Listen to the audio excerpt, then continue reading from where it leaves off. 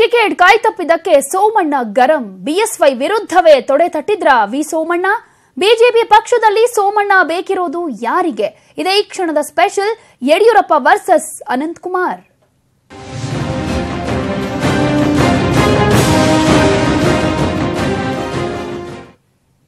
ಮಾಜಿ ಸಚಿವ ವಿ ಸೋಮಣ್ಣಗೆ ಬಿಜೆಪಿಯಲ್ಲಿ ಟಿಕೆಟ್ ಇಲ್ಲ ಅನ್ನುವಂತ ಮಾಹಿತಿ ಸಿಗ್ತಾ ಇದೆ.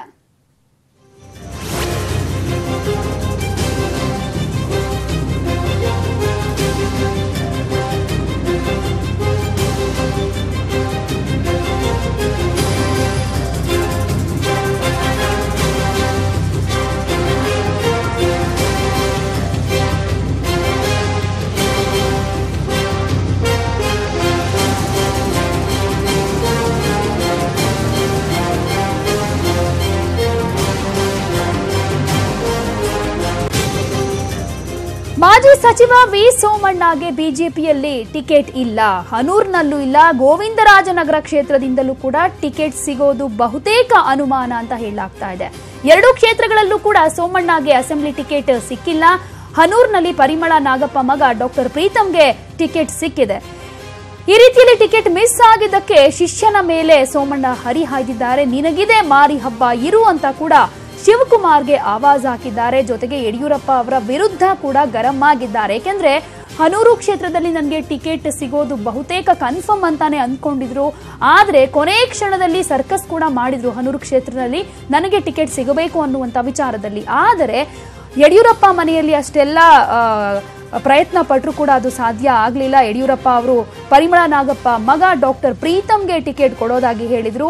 ಅಂದ್ರೆ ಹನೂರು ಕ್ಷೇತ್ರದಲ್ಲೂ ಕೂಡ ಟಿಕೆಟ್ ಮಿಸ್ ಆಯ್ತು.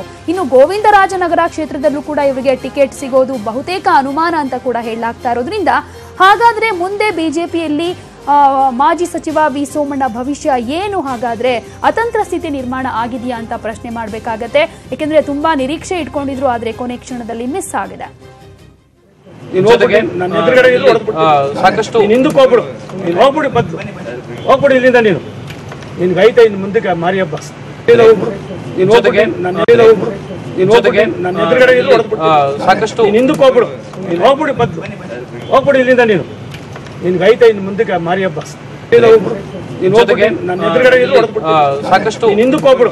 ನೀನು ಹೋಗ್ಬಿಡಿ ಬದ್ದು ಹೋಗ್ಬಿಡು ಇಲ್ಲಿಂದ ನೀನು. ನಿನ್ಗೆ ಐತೆ ಇನ್ನು ಮುಂದಕ್ಕೆ ಮಾರಿ ಹಬ್ಬ ಯಾವ ರೀತಿಯಾಗಿ ತಮ್ಮ ಶಿಷ್ಯ ಶಿವಕುಮಾರ್ ಮೇಲೆ ಹರಿಹಾಯ್ತಾ ಇದ್ದಾರೆ ಸೋಮಣ್ಣ ಅವರು ಅನ್ನೋದನ್ನ ನಾವು ನೋಡ್ತಾ ಇದೀವಿ. ಯಾಕೆಂದ್ರೆ ಕಳೆದ ರಾತ್ರಿ ಇಡೀ ಯಡಿಯೂರಪ್ಪ ನಿವಾಸಕ್ಕೆ ಹೋಗಿ ಟಿಕೆಟ್ ಸಿಗೋ ವಿಚಾರದಲ್ಲಿ ಏನೇನ್ ಮಾಡಬೇಕು ಆ ಎಲ್ಲ ಪ್ರಯತ್ನಗಳನ್ನ ಮಾಡಿದ್ರು. ಆದ್ರೆ ಯಡಿಯೂರಪ್ಪ ಅವರು ಡಾಕ್ಟರ್ ಪ್ರೀತಮ್ಗೆ ಹನೂರು ಕ್ಷೇತ್ರದಿಂದ ಟಿಕೆಟ್ ಕೊಡ್ತೀವಿ ಅಂತ ಹೇಳಿದ್ರು. ಅಂದ್ರೆ ಟಿಕೆಟ್ ಮಿಸ್ ಆಯ್ತು. ನಂತರ ಈ ರೀತಿಯಾಗಿ ತಮ್ಮ ಶಿಷ್ಯನ ಮೇಲೆ ಹರಿಹಾದಿದ್ದಾರೆ ಇಲ್ಲಿಂದ ಹೋಗ್ಬಿಡು ನನ್ನ ಕಣ್ಮುಂದೆ ನಿಲ್ಬೇಡ ನಿನ್ಗೆ ಮುಂದೈತೆ ಮಾರಿ ಹಬ್ಬ ಅಂತ ಹೇಳ್ತಾ ಇದ್ದಾರೆ ಅನ್ನೋದಾದ್ರೆ ಅವರ ಅಸಮಾಧಾನ ಆಕ್ರೋಶ ಎಷ್ಟರ ಮಟ್ಟಿಗೆ ಇದೆ ಅನ್ನೋದನ್ನ ನಾವು ಇಲ್ಲಿ ಗಮನಿಸಬೇಕಾಗತ್ತೆ. ಇದರ ಜೊತೆಗೆ ಯಡಿಯೂರಪ್ಪ ಅವರ ನಿರ್ಧಾರವನ್ನ ಇಲ್ಲಿ ಇವರು ಅದೇ ಫೈನಲ್ ಡಿಸಿಷನ್ ಅಂತ ಅಂದ್ಕೊಂಡಿಲ್ಲ. ಅಂದ್ರೆ ಅನಂತ್ ಕುಮಾರ್ ಬಳಿ ಹೋಗಿ ನಾನು ಟಿಕೆಟ್ ಗಿಟ್ಟಿಸ್ಕೊಳ್ತೀನಿ ಅನ್ನುವಂತ ಭರವಸೆಯನ್ನ ಕೂಡ ಅವರು ಇಲ್ಲಿ ವ್ಯಕ್ತಪಡಿಸ್ತಾ ಇದ್ದಾರೆ. ಆದ್ರೆ ಅದು ಸಾಧ್ಯ ಆಗುತ್ತಾ ಇಲ್ವಾ ಅನ್ನೋದನ್ನ ಕಾದ್ ನೋಡ್ಬೇಕಾಗತ್ತೆ. ಯಾಕೆಂದ್ರೆ ಮತ್ತೆ ನನಗೆ ಟಿಕೆಟ್ ಸಿಗೋ ನಿಟ್ಟಿನಲ್ಲಿ ಏನೇನು ಪ್ರಯತ್ನಗಳನ್ನ ಮಾಡಬೇಕು, ಯಾವ ರೀತಿ ಲಾಬಿ ಮಾಡಬೇಕು ಅನ್ನುವಂತಹ ಆಲೋಚನೆಯಲ್ಲಿ ಕೂಡ ಇದ್ದಾರೆ. ಆದರೆ ಈಗ ಗೋವಿಂದರಾಜನಗರ ಕ್ಷೇತ್ರದಲ್ಲೂ ಕೂಡ ಇವರಿಗೆ ಟಿಕೆಟ್ ಇಲ್ಲ ಅನ್ನೋದಾದ್ರೆ ಈಗಾಗಲೇ ಹನೂರು ಕ್ಷೇತ್ರದಲ್ಲಿ ಟಿಕೆಟ್ ಮಿಸ್ ಆಗಿದೆ. ಹಾಗಾದ್ರೆ ಮುಂದೆ ಏನು, ಏನ್ ಮಾಡ್ತಾರೆ ವಿ ಸೋಮಣ್ಣ ಅವರು? ಪಕ್ಷದ ವಿರುದ್ಧ ಏನಾದರೂ ಬಂಡಾಯ ಹೇಳ್ತಾರಾ? ಅಥವಾ ಬೇರೆ ರೀತಿಯಲ್ಲಿ ಏನಾದರೂ ಲಾಬಿ ಮಾಡೋದಕ್ಕೆ ಶುರು ಮಾಡ್ತಾರಾ? ಯಾರನ್ನಾದರೂ ಮೀಟ್ ಮಾಡ್ತಾರಾ ಅನ್ನೋದನ್ನ ಕಾದು ನೋಡ್ಬೇಕಾಗತ್ತೆ. ಇದೊಂದು ರೀತಿ ಹಳೆ ಫೈಟು, ಹೊಸ ಏಟು ಅನ್ನುವಂತಾಗಿದೆ. ನಾನು ಎಲ್ಲಿ ನಿಲ್ಲಬೇಕು ಅನ್ನೋದನ್ನ ಅನಂತ್ ಕುಮಾರ್ ನಿರ್ಧರಿಸ್ತಾರೆ ಅನ್ನುವಂತ ಹೇಳಿಕೆಗಳನ್ನ ಕೂಡ ಕೊಡ್ತಾ ಇದ್ದಾರೆ ವಿ ಸೋಮಣ್ಣ.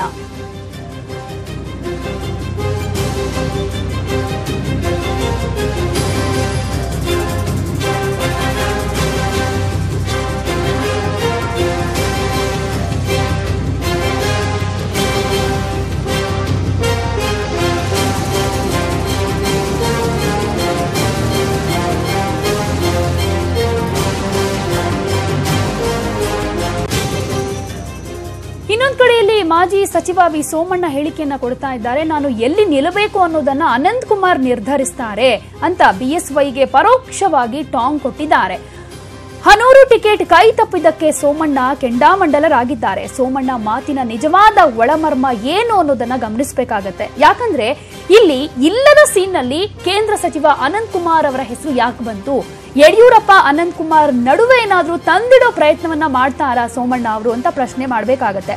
ಸೋಮಣ್ಣ ಪರ ಬ್ಯಾಟ್ ಮಾಡ್ತಾರಾ ಅನಂತ್ ಕುಮಾರ್ ಅನ್ನೋದನ್ನ ಕೂಡ ಕಾದ್ ನೋಡ್ಬೇಕಾಗತ್ತೆ. ಅನಂತ್ ಕುಮಾರ್ ಏನಾದ್ರೂ ಒಂದ್ ವೇಳೆ ಮಧ್ಯ ಪ್ರವೇಶಿಸಿದ್ರೆ ಮತ್ತೊಂದು ಭಿನ್ನಮತ ಆಗಬಹುದಾ? ಈ ಬಾರಿ ಭಿನ್ನಮತಕ್ಕೆ ಏನಾದ್ರೂ ಸೋಮಣ್ಣ ಕಾರಣವಾಗ್ತಾರಾ? ಯಾಕಂದ್ರೆ ಈಗಾಗಲೇ ಈಶ್ವರಪ್ಪ, ಯಡಿಯೂರಪ್ಪ ನಡುವೆ ಸಾಕಷ್ಟು ಭಿನ್ನಮತ ಇತ್ತು. ನಂತರ ಅದನ್ನ ಶಮನ ಮಾಡುವಂತ ಪ್ರಯತ್ನವನ್ನ ಅಮಿತ್ ಶಾ ಮಾಡಿದ್ರು. ಈಗ ಬಿ ಎಸ್ ವೈ ಹಾಗೂ ಅನಂತ್ ಕುಮಾರ್ ನಡುವೆ ಮುಂದೆ ಈ ರೀತಿಯಾದಂತ ಮನಸ್ತಾಪಗಳನ್ನ ತಂದಿಡುವ ಪ್ರಯತ್ನ ಮಾಡ್ತಾರಾ ವಿ ಸೋಮಣ್ಣ ಅನ್ನೋದನ್ನ ಗಮನಿಸಬೇಕಾಗತ್ತೆ. ಯಡಿಯೂರಪ್ಪ, ಅನಂತ್ ಕುಮಾರ್ ನಡುವೆ ಈಗ ಒಂದು ರೀತಿಯಲ್ಲಿ ಟಗ್ ಆಫ್ ವಾರ್ ಶುರುವಾಗುತ್ತೆ. ಅಂದ್ರೆ ಒಂದು ರೀತಿ ಟಫ್ ವಾರ್ ಶುರುವಾಗುವಂತ ಸಾಧ್ಯತೆಗಳು ಕೂಡ ಕಂಡು ಬರ್ತಾ ಇದೆ.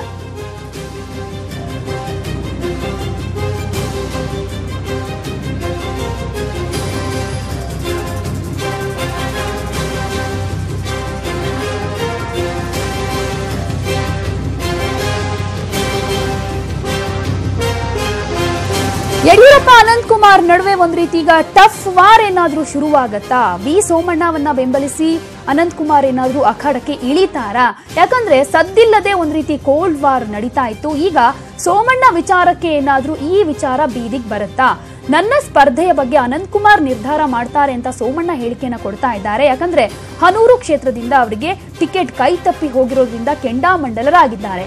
ಇನ್ನು ಗೋವಿಂದರಾಜನಗರ ಕ್ಷೇತ್ರದ ಟಿಕೆಟ್ ಕೂಡ ಕೈತಪ್ಪೋ ಸಾಧ್ಯತೆ ಇರೋದ್ರಿಂದ ಈಗ ಅನಂತ್ ಕುಮಾರ್ ನಿರ್ಧಾರ ಮಾಡ್ತಾರೆ, ನಾನು ಎಲ್ಲಿ ನಿಲ್ಲಬೇಕು ಎಲ್ಲಿ ಸ್ಪರ್ಧೆ ಮಾಡಬೇಕು ಅನ್ನುವಂತ ವಿಚಾರಕ್ಕೆ ಸಂಬಂಧಪಟ್ಟ ಹಾಗೆ ಯಡಿಯೂರಪ್ಪ ಹೇಳಿದ್ದೆ ಇಲ್ಲಿ ಫೈನಲ್ ಅಲ್ಲ ಅಂತ ಹೇಳ್ತಾ ಇದ್ದಾರೆ ಅನ್ನೋದಾದ್ರೆ, ಇಲ್ಲಿ ಈಗ ಯಡಿಯೂರಪ್ಪ ವರ್ಸಸ್ ಅನಂತ್ ಕುಮಾರ್ ಅನ್ನುವಂತ ವಿಚಾರ ಏನಾದ್ರೂ ಬರುತ್ತಾ? ಸೋಮಣ್ಣ ಪರ ಏನಾದ್ರೂ ಅನಂತ್ ಕುಮಾರ್ ಬ್ಯಾಟ್ ಮಾಡ್ತಾರಾ? ಯಡಿಯೂರಪ್ಪ ಅವರನ್ನ ಎದುರು ಹಾಕೊಳ್ತಾರಾ? ಇವರಿಬ್ಬರ ಮಧ್ಯೆ ಮತ್ತೆ ಏನಾದ್ರೂ ಭಿನ್ನಮತ ಏರ್ಪಡುತ್ತಾ? ಈ ಹಿಂದೆ ಕೆಲವೊಂದು ವಿಚಾರಗಳಲ್ಲಿ ಕೋಲ್ಡ್ ವಾರ್ ಇತ್ತು ಅನ್ನೋದು ಗೊತ್ತಾಗ್ತಾ ಇತ್ತು. ಆದ್ರೆ ಈಗ ಸೋಮಣ್ಣ ಅವರಿಗೆ ಹನೂರು ಕ್ಷೇತ್ರದಿಂದ ಟಿಕೆಟ್ ಕೈತಪ್ಪಿ ಹೋಗಿದೆ. ಗೋವಿಂದರಾಜನಗರ ಕ್ಷೇತ್ರದಲ್ಲೂ ಕೂಡ ಟಿಕೆಟ್ ಕೈತಪ್ಪಿ ಹೋಗೋ ಸಾಧ್ಯತೆಗಳು ಇರೋದ್ರಿಂದ ಇವರಿಬ್ಬರ ಒಂದು ರೀತಿಯಾದಂತ ಕೋಲ್ಡ್ ವಾರ್ ಬೀದಿಗೆ ಬರುತ್ತಾ? ಮುಂದೆ ಮತ್ತೆ ಅನಂತ್ ಕುಮಾರ್ ಹಾಗೂ ಯಡಿಯೂರಪ್ಪ ನಡುವೆ ಭಿನ್ನಮತ ಉಂಟಾದ್ರೆ ಯಾವ ರೀತಿಯಾದಂತ ಎಫೆಕ್ಟ್ ಆಗತ್ತೆ ಪಕ್ಷದ ಮೇಲೆ ಅನ್ನೋದನ್ನ ನಾವಿಲ್ಲಿ ಯೋಚನೆ ಮಾಡಬೇಕಾಗತ್ತೆ.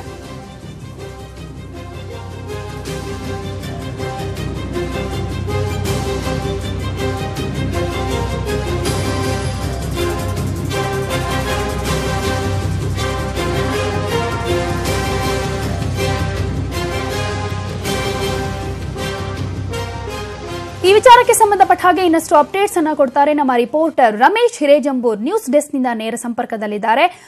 ರಮೇಶ್, ಇಲ್ಲಿ ಗಮನಿಸಬೇಕಾಗತ್ತೆ, ಒಂದ್ ರೀತಿಯಾಗಿ ಅನಂತ್ ಕುಮಾರ್ ವರ್ಸಸ್ ಯಡಿಯೂರಪ್ಪ ಅನ್ನುವಂತೆ ಆಗಬಹುದು. ಇವರಿಬ್ಬರ ಮಧ್ಯೆ ಮತ್ತೆ ಭಿನ್ನಮತ ಏರ್ಪಡುವುದು, ಏರ್ಪಡಬಹುದು ಸೋಮಣ್ಣ ವಿಚಾರಕ್ಕೆ ಅಂತ ಹೇಳಲಾಗ್ತಾ ಇದೆ. ಅದಕ್ಕೆ ಮೇನ್ ಕಾರಣ ಏನೇನು? ಜೊತೆಗೆ ಸೋಮಣ್ಣ ಅವರು ಇಲ್ಲಿ ಅನಂತ್ ಕುಮಾರ್ ಟಿಕೆಟ್ ನಿರ್ಧಾರ ಮಾಡ್ತಾರೆ ನನಗೆ ಅಂತ ಹೇಳಿರೋದಾದ್ರೂ ಯಾಕೆ ಅಂತ?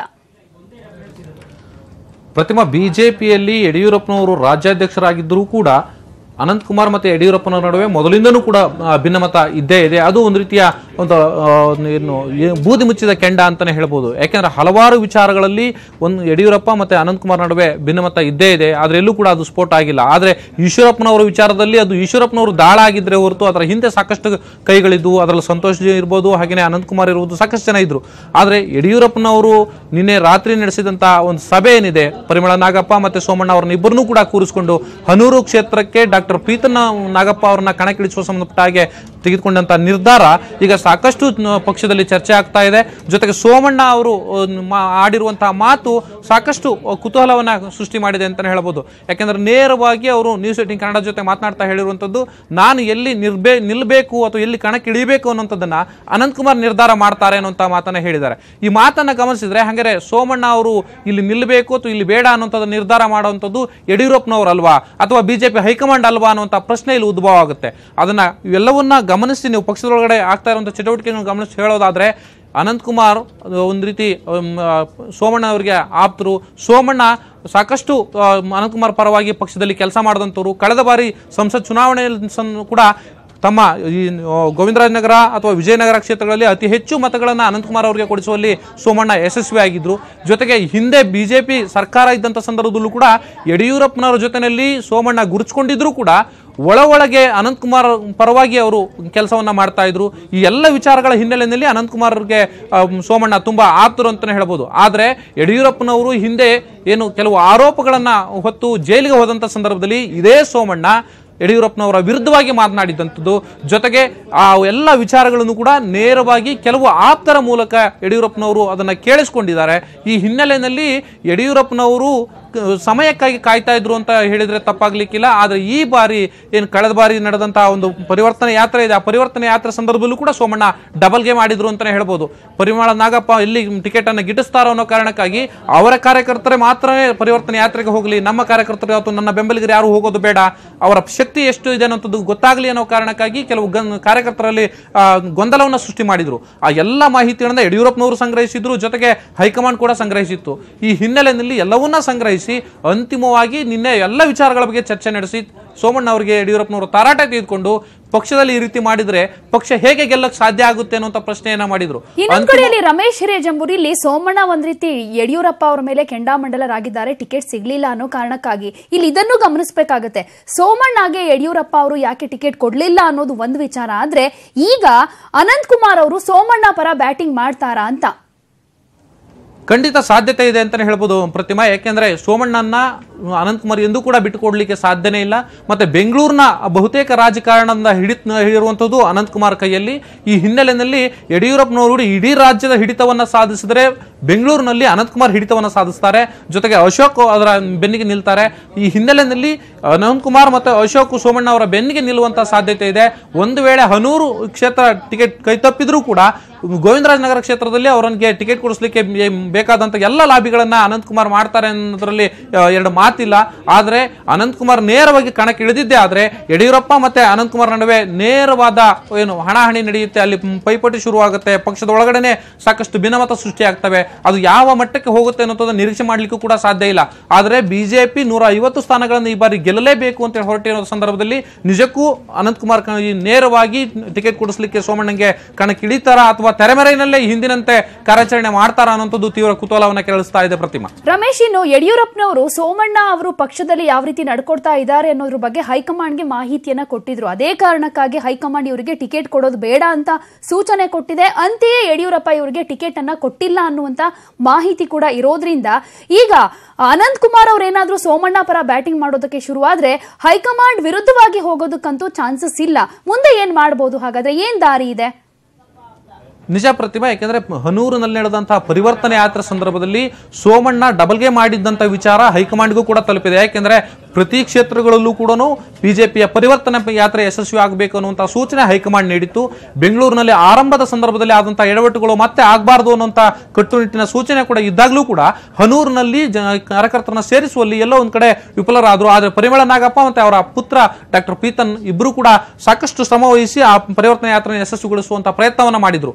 ಆದರೆ ಅಲ್ಲಿ ಆದಂತ ಲೋಪದೋಷಗಳ ಬಗ್ಗೆ ಹೈಕಮಾಂಡ್ ಕೂಡ ಮಾಹಿತಿಯನ್ನು ಸಂಗ್ರಹಿಸಿತ್ತು. ಈ ಎಲ್ಲ ಹಿನ್ನೆಲೆಯಲ್ಲಿ ಸೋಮಣ್ಣ ಅವರಿಗೆ ಈ ಬಾರಿ ಟಿಕೆಟ್ ಕೈ ತಪ್ಪಿಸುವಂತ ಪ್ರಯತ್ನಕ್ಕೆ ಕೆಲವು ನಾಯಕರು ಪ್ರಯತ್ನ ಪಡ್ತಾ ಇದ್ದಾರೆ. ಹೈಕಮಾಂಡ್ ಕೂಡ ಅದೇ ಸೂಚನೆಯನ್ನು ನೀಡಿದ. ಹಿನ್ನೆಲೆಯಲ್ಲಿ ಅವರಿಗೆ ಹನು ಟಿಕೆಟ್ ಇಲ್ಲ.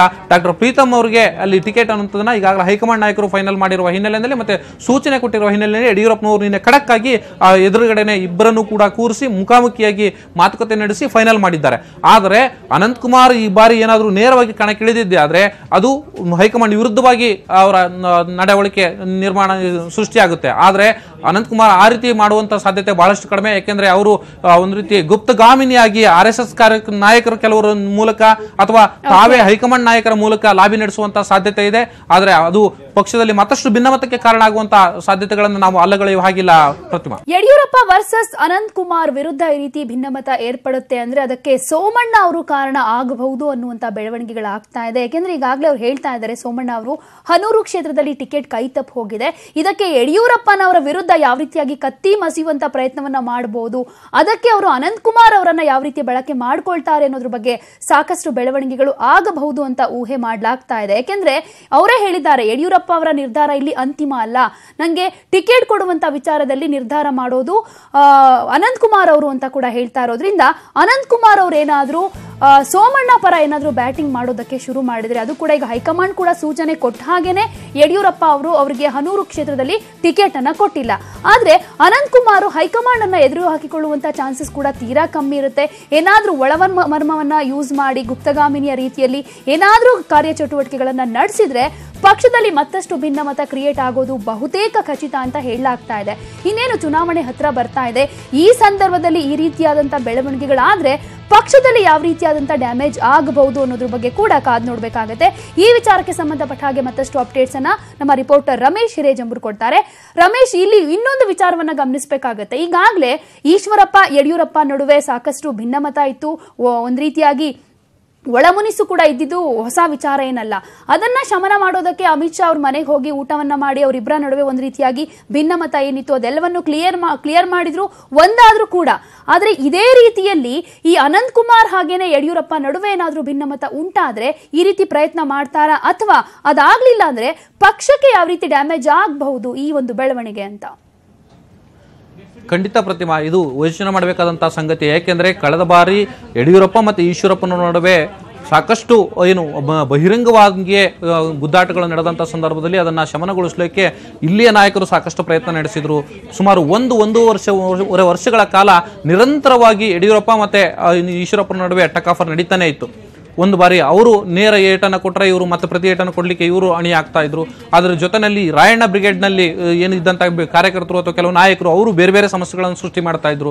ಇಡೀ ಈ ಪ್ರಹಸನವನ್ನ ಅಂತ್ಯಗೊಳಿಸಲಿಕ್ಕೆ ಅಮಿತ್ ಶಾ ಸೇರಿದಂತೆ ಹಲವು ಕೇಂದ್ರದ ನಾಯಕರು ಸಾಕಷ್ಟು ಹರಸಾಹಸವನ್ನು ನಡೆಸಿದ್ರು. ಅಂತಿಮವಾಗಿ ಅಮಿತ್ ಶಾ ಅವರೇ ಯಡಿಯೂರಪ್ಪನವ್ರನ್ನು ಮತ್ತೆ ಈಶ್ವರಪ್ಪನವ್ರನ್ನ ಕರೆದುಕೊಂಡು ಹೋಗಿ ಶಿವಮೊಗ್ಗದಲ್ಲಿರುವಂತಹ ಈಶ್ವರಪ್ಪನವರ ಮನೆಯಲ್ಲೇ ಕೂತು ಊಟ ಮಾಡೋದ್ರ ಮೂಲಕ ಅಲ್ಲಿರ್ತಕ್ಕಂಥ ಕೆಲ ಸಮಸ್ಯೆಗಳನ್ನ ಸ- ಸಾಂಗವಾಗಿ ಬಗೆಹರಿಸುವಂತಹ ಬಗೆಹರಿಸುವಂತ ಪ್ರಯತ್ನ ಮಾಡಿದ್ರು. ಜೊತೆಗೆ ಅಲ್ಲಿ ರುದ್ರೇಗೌಡರಿಗೆ ಎಂ ಎಲ್ ಸಿ ಮಾಡ್ತೀವಿ ಅನ್ನುವಂಥ ಭರವಸೆಯನ್ನು ಕೊಟ್ಟು ನೇರವಾಗಿ ಅವರೇ ಭರವಸೆ ನೀಡಿರೋ ಹಿನ್ನೆಲೆಯಲ್ಲಿ ಎಲ್ಲ ನಾಯಕರು ಕೂಡ ಒಂದು ಸ್ವಲ್ಪ ಮಟ್ಟಿಗೆ ತಣ್ಣಗಾಗಿದ್ರು. ಆದ್ರೆ ಈಗ ಅದರ ಬೆನ್ನಲ್ಲೇ ಇಷ್ಟೆಲ್ಲ ಬೆಳವಣಿಗೆಗಳು ನಡೆದು ಅಥವಾ ತಣ್ಣಗಾದ ಬೆನ್ನಲ್ಲೇ ಈಗ ಮತ್ತೊಂದು ಹೊಸ ಸಮಸ್ಯೆ ಸೃಷ್ಟಿ ಸೃಷ್ಟಿಯಾಗುವಂಥ ಎಲ್ಲ ಸಾಧ್ಯತೆಗಳಿದೆ. ಕಳೆದ ಬಾರಿ ಈಶ್ವರಪ್ಪನವರ ಸಮಸ್ಯೆ ಅಥವಾ ರಾಯಣ್ಣ ಬ್ರಿಗೇಡ್ ಚಟುವಟಿಕೆ ಆರಂಭವಾದ ಸಂದರ್ಭದಲ್ಲಿ ಚುನಾವಣೆ ಇರಲಿಲ್ಲ. ಚುನಾವಣೆ ಇನ್ನೂ ದೂರ ಇದ್ದಂಥ ಸಂದರ್ಭದಲ್ಲಿ ಸಾಕಷ್ಟು ಸಮಸ್ಯೆ ಸೃಷ್ಟಿಯಾಗಿತ್ತು. ಆದರೆ ಈ ಬಾರಿ ಚುನಾವಣೆ ಘೋಷಣೆ ಆಗಿದೆ. ಜೊತೆಗೆ ಕೇವಲ ಸೋಮಣ್ಣ ಅವರಿಗೆ ಟಿಕೆಟ್ ಕೈತಪ್ಪಿದೆ ಅನ್ನುವಂಥ ಕಾರಣಕ್ಕಾಗಿ ಆ ಎರಡೂ ಬಣಗಳ ನಡುವೆ ಸಾಕಷ್ಟು ನಾಯಕರು ಒಬ್ಬರು ಆ ಕಡೆ ಹೋದರೆ ಇನ್ನೊಬ್ರು ಈ ಕಡೆ ನಿಲ್ಲುವಂಥ ಸಾಧ್ಯತೆ ಇದೆ. ಇಡೀ ಬಿಜೆಪಿಯ ಪಾಳೆಯ ಎರಡು ಬಣವಾಗಿ ನಿರ್ಮಾಣ ಆಗುವಂತ ಎಲ್ಲ ಸಾಧ್ಯತೆಗಳಿದೆ. ಆದರೆ ಇಂತಹ ಒಂದು ಅಪಾಯಕಾರಿ ಸ್ಥಿತಿ- ಸ್ಥಿತಿಗತಿಯನ್ನ ಯಾವ ರೀತಿ ಹೈಕಮಾಂಡ್ ನಾಯಕರು ಏನು ತಣ್ಣಗೆ ಮಾಡ್ತಾರೆ ಅನ್ನುವಂಥದ್ದೇ ತೀವ್ರ ಕುತೂಹಲವನ್ನು ಕೆರಳಿಸ್ತಾ ಇರುವಂಥದ್ದು. ಒಂದು ವೇಳೆ ಅನಂತಕುಮಾರ್ ನೇರವಾಗಿ ಸೋಮಣ್ಣ ಅವರಿಗೆ ಟಿಕೆಟ್ ಕೊಡಿಸ್ಲಿಕ್ಕೆ ಕಣಕ್ಕೆ ಇಳಿದಿದ್ದೇ ಆದರೆ ದೊಡ್ಡ ರಾದ್ದಾಂತ ಸೃಷ್ಟಿಯಾಗುವಂಥ ಸಾಧ್ಯತೆ ಇದೆ. ಯಾಕೆಂದರೆ ಯಡಿಯೂರಪ್ಪನವರು ಅಂತಹ ಸಮಸ್ಯೆಯನ್ನು ನೇರವಾಗಿ ಅಥವಾ ಸಮಾಧಾನದಿಂದ ಬಗೆಹರಿಸುವಂಥ ಸಾಧ್ಯತೆಗಳು ಬಹಳಷ್ಟು ಕಡಿಮೆ. ಯಾಕೆಂದರೆ ಅನಂತಕುಮಾರ್ ವಿಚಾರದಲ್ಲಿ ಎಷ್ಟೇ ನಾವು ಸಮಾಧಾನವಾಗಿ ಯಡಿಯೂರಪ್ಪನವ್ರು ನಡ್ಕೊಂಡ್ರು ಕೂಡ ಕೆಲವು ಸಂದರ್ಭದಲ್ಲಿ ಯಡಿಯೂರಪ್ಪನವರು ಕೋಪಿಷ್ಟು ಅನ್ನುವಂಥ ಮಾತು ಸಾಕಷ್ಟು ಏನು ಎಲ್ರಿಗೂ ಕೂಡ ಗೊತ್ತಿರುವಂಥ ವಿಚಾರ. ಈ ಹಿನ್ನೆಲೆಯಲ್ಲಿ ಅನಂತಕುಮಾರ್ ನೇರವಾಗಿ ಅಖಾಡಕ್ಕೆ ಇಳಿಯುವಂತಹ ಸಾಧ್ಯತೆಗಳು ಸ್ವಲ್ಪ ಕಡಿಮೆ. ಆದರೆ ಆರ್ ಎಸ್ ಎಸ್ ನಾಯಕರು ಮತ್ತೆ ಬೇರೆ ಬೇರೆ ಕೆಲವು ಕೇಂದ್ರದಲ್ಲಿರುವಂತಹ ಆಪ್ತರ ಮೂಲಕ ಕಾರ್ಯಾಚರಣೆ ನಡೆಸುವಂತಹ ಸಾಧ್ಯತೆ ಇದೆ. ಏನೇ ಆದರೂ ಕೂಡ ಎರಡೂ ಬಣಗಳ ನಡುವೆ ತಿಕ್ಕಾಟ ಆಗಿದ್ದೇ ಆದರೆ ಬಿಜೆಪಿಗೆ ಬಹಳ ದೊಡ್ಡ ಹೊಡೆತ ಬೀಳುವಂಥದ್ದು. ಅದನ್ನ ಹೈಕಮಾಂಡ್ ನಾಯಕರು ಜೊತೆಗೆ ಅಧಿನಾಯಕರು ಅನಿಸಿಕೊಂಡಿರುವಂತಹ ಅಮಿತ್ ಶಾ ಯಾವ ರೀತಿ ಈ ಸಮಸ್ಯೆಯನ್ನ ತಣ್ಣಗೆ ಮಾಡ್ತಾರೆ, ನಿಜಕ್ಕೂ ಸೋಮಣ್ಣ ಅವರನ್ನ ಇನ್ನೂ ಮೂರುವರೆ ವರ್ಷಗಳ ಕಾಲ ವಿಧಾನ ಪರಿಷತ್ನ ಸದಸ್ಯ ಸ್ಥಾನ ಇರುವ ಹಿನ್ನೆಲೆಯಲ್ಲಿ ಅವರಿಗೆ ಏನಾದರೂ ಸಮಾಧಾನ ಮಾಡುವಂತಹ ಕೆಲಸವನ್ನ ಮಾಡ್ತಾರಾ? ಅಥವಾ ನಿಜಕ್ಕೂ ಬೇರೆ ಕಡೆ ಟಿಕೆಟ್ ಅಥವಾ ಗೋವಿಂದರಾಜನಗರ ಕ್ಷೇತ್ರದಲ್ಲಿ ಅವರ ಆಕಾಂಕ್ಷಿಗಳು ಕೇಳ್ತಾ ಇರುವ ಹಿನ್ನೆಲೆಯಲ್ಲಿ ಅಲ್ಲಿ ಟಿಕೆಟ್ ಕೊಡ್ತಾರೆ ಅನ್ನೋಂಥದ್ದು ತೀವ್ರ ಕುತೂಹಲವನ್ನು ಕೇಳಿಸ್ತಾ ಇದೆ.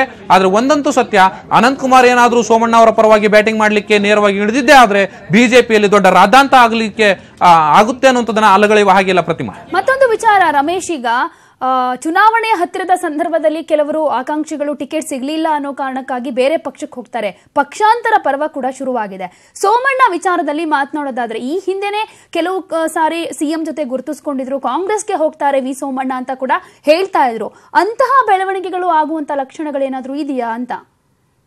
ಪ್ರತಿಮಾ ರಾಜಕಾರಣದಲ್ಲಿ ಇದು ಹೀಗೆ ಆಗುತ್ತೆ ಅಥವಾ ಆಗೋದಿಲ್ಲ ಅಂತ ಹೇಳಲಿಕ್ಕೆ ಆಗೋದಿಲ್ಲ. ಯಾಕೆಂದ್ರೆ ರಾಜಕಾರಣದಲ್ಲಿ ಯಾವುದೂ ಕೂಡ ಅಸಾಧ್ಯ ಅನ್ನುವಂಥ ಮಾತಿಲ್ಲ. ಜೊತೆಗೆ ಇಲ್ಲಿ ಸರಾಸಕ್ತಾಗಿ ಇರುವಂತಹ ಮಾತು ರಾಜಕಾರಣದಲ್ಲಿ ಯಾರು ಶತ್ರುವೂ ಅಲ್ಲ ಮಿತ್ರವೂ ಮಿತ್ರರೂ ಅಲ್ಲ ಅನ್ನುವಂಥ ಮಾತುಗಳು ಮೊದಲಿಂದನೂ ಕೂಡ ಇದೆ.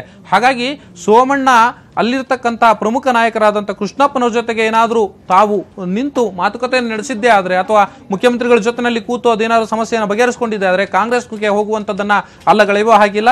ನಿನ್ನೆ ಕೂಡ ಸೋಮಣ್ಣ ಹೇಳಿದ್ದಾರೆ ನಾನು ಕಾಂಗ್ರೆಸ್ಗೆ ಹೋಗೋದಿಲ್ಲ ಬಿಜೆಪಿಯಲ್ಲೇ ಇರ್ತೀನಿ ಅನ್ನೋಂಥ ಮಾತನ್ನು. ಆದರೆ ಹಿಂದೆ ಅವರು ಜೆ ಡಿ ಎಸ್ನಲ್ಲಿ ಇರುವಂಥ ಸಂದರ್ಭದಲ್ಲಿ ಆಗಲಿ ಅಥವಾ ಕಾಂಗ್ರೆಸ್ನಲ್ಲಿ ಇರುವಂಥ ಸಂದರ್ಭದಲ್ಲಿ ಕೂಡ ಇದೇ ಮಾತುಗಳನ್ನೇ ಹೇಳಿದರು. ಆದರೆ ಈಗ ಟಿಕೆಟ್ ಕೈ ತಪ್ಪುತ್ತೆ ಅನ್ನುವಂಥ ಮಾತು ನಿಜ ಆಗಿದ್ದು ಅಥವಾ ಅದು ಇಲ್ಲಿ ಗೋವಿಂದ್ರ ನಗರದಲ್ಲೂ ಕೂಡ ಅವರಿಗೆ ಟಿಕೆಟ್ ಸಿಗದೆ ಹೋದರೆ ಅವರು ಕಾಂಗ್ರೆಸ್ಗೆ ಅಥವಾ ಮತ್ತೆ ಯಾವುದೋ ಪಕ್ಷವನ್ನ ಹುಡುಕಿ ಹುಡ್ಕೊಂಡು ಹೋಗೋದ್ರಲ್ಲಿ ಆಶ್ಚರ್ಯವೇ ಇಲ್ಲ. ಆದ್ರೆ ಅದನ್ನ ಅನಂತ್ ಕುಮಾರ್ ಯಾವ ರೀತಿ ಬಗೆಹರಿಸ್ತಾರೆ ಅನ್ನೋದನ್ನ ಕಾದ್ ನೋಡ್ಬೇಕು ಪ್ರತಿಮಾ. ಓಕೆ ಧನ್ಯವಾದ ರಮೇಶ್ ತಮ್ಮೆಲ್ಲ ಮಾಹಿತಿಗೆ